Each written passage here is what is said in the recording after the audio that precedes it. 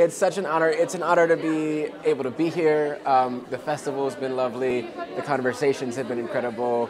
Getting to know you guys, getting the privilege of being alongside these these films, to be able to to come over here with the film, um, not just send the film, but be here with it and sit in the audience and, and watch the film with French subtitles and sort of feel the energy of, of the room and to have such a lovely q&a and have that conversation afterwards and other conversations that have spun out since then uh, cross culture and cross language barriers is i mean that's why we make art i think that's such a special thing that you guys are are doing and that you're onto um, i i love this idea of of subversive film and, and sort of exploring what that means. You know, the, the goal of that subversiveness is is to arrive at at uh, new perspectives and sort of universal empathy and understanding.